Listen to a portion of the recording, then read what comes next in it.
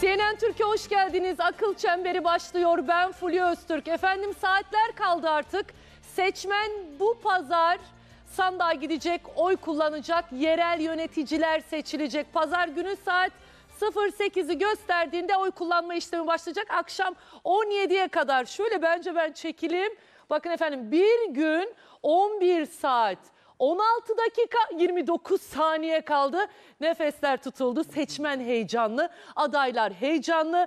Ee, her bölgede ayrı bir heyecan var. İstanbul'un heyecanı tabii bambaşka. Nasıl sizde heyecan durumları? Abdülkadir Selvi seçmen olarak var mı? Seçmende de heyecan var diyoruz ama Mutlaka var. Değil mi? Mutlaka var. Mesela sende daha çok heyecan ben var. öyle bir açtım ki sanki ben bir adaymışım. he- doğrusu heyecanlanmamak da mümkün değil. Yani ben Tabii. heyecanlanmıyorum, izlemiyorum.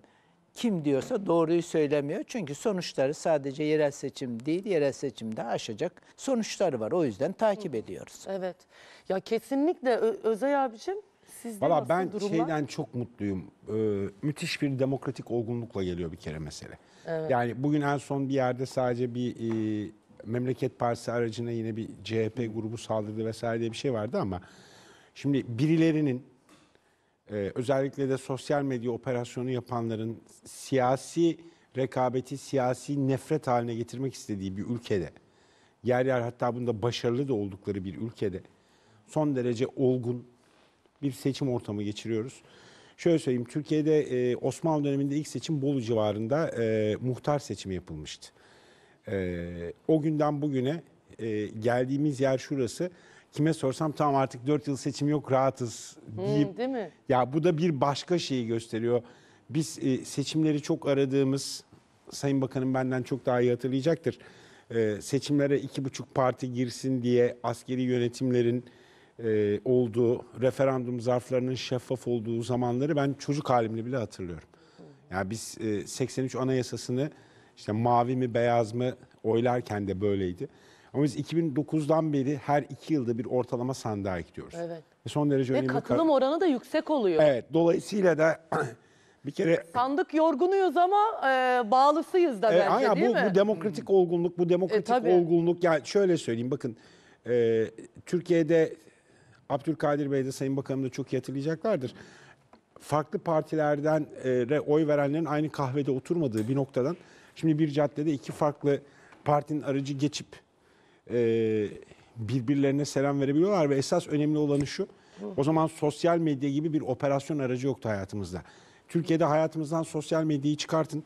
Futbolda da, siyasette de, ekonomide de nefret dilinin daha az olduğu bir Türkiye Kesinlikle. manzarası çıkar karşınıza. Dolayısıyla da e, bu kadar nefret dilinin kullanıldığı bir yerde sokağın e, aklı selim ve demokratik olgun halini e, ben çok gurur vererek izledim bu kampanya döneminde.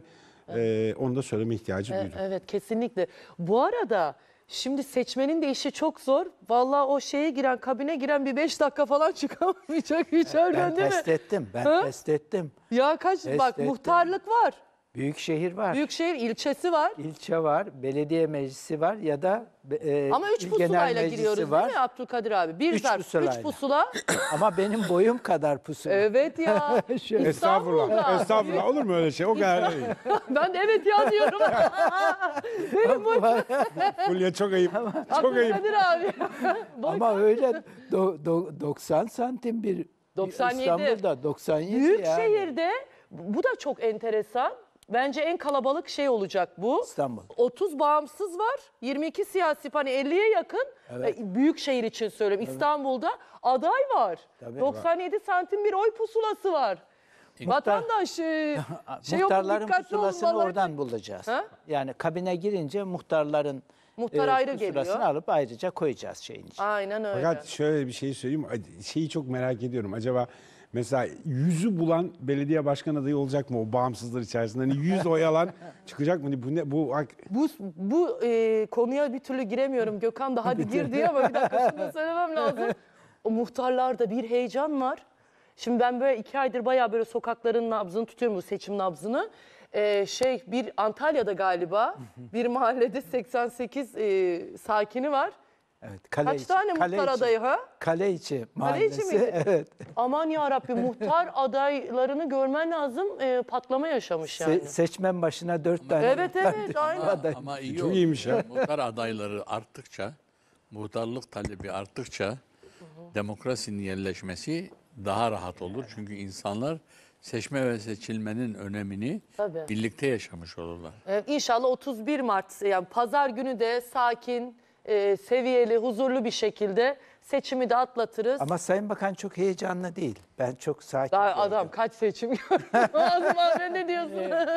Ben alışıkım ya seçimlere. Değil mi? Ama biz bir türlü alışamadık. Her seçimde heyecanlanıyoruz. Hep ya gerçekten ayrı bir... Şimdi seçimlerde bakın e, şu anda yarından itibaren yolda karşılaştıklarınızın yüzdenin değiştiğini göreceksiniz. O ne demek? Yani eskiden size çok samimi olan bugünden itibaren ambargo koyacak size eğer sizler beraber olmayacaksa, size oy vermeyecekse renk vermemeye çalışacak. Şaşıracaksınız. Eğer karşıyken size yakın olacaksa bu sefer yine belli etmemeye çalışacak. Ben senden yanayım ama sen ben, beni hep suçluyorsun diyecek. Hani adı kararsız olan, şey olan denilen kişiler böyle yapılanacak. Çünkü eee, bu kampanyaların iki hedefi vardır her parti için. Birinci hedef kendi tabanının karşı tarafa gitmesini engellemek. Sertleşme oradan kaynaklanıyor zaten. İkincisi ise ortada olanların veya karşı partinin üyesinin aklını çelmek. Bu gördüğünüz vaatler vesaire var ya, 5 yıl sonraki yerel yönetimler seçimiyle 4 yıl sonra yapılacak milletvekili seçimlerinin rengini değiştirecek. Çünkü bu vaatleri verenlerin çoğunluğu hangi kesimden olursa olsun yerine getiremeyecek. Yerine getirmeyince artık vaat seçim kazandıran proje dedikleri olgu ortadan kalkacak. Yerel yönetimler yaşama tarzını belirleyen yönetim anlayışlarıdır. Yani temiz su içmek ya da kirli suya razı olmak, çöpe razı olmak ya da çöpsüzlüğü Yaşam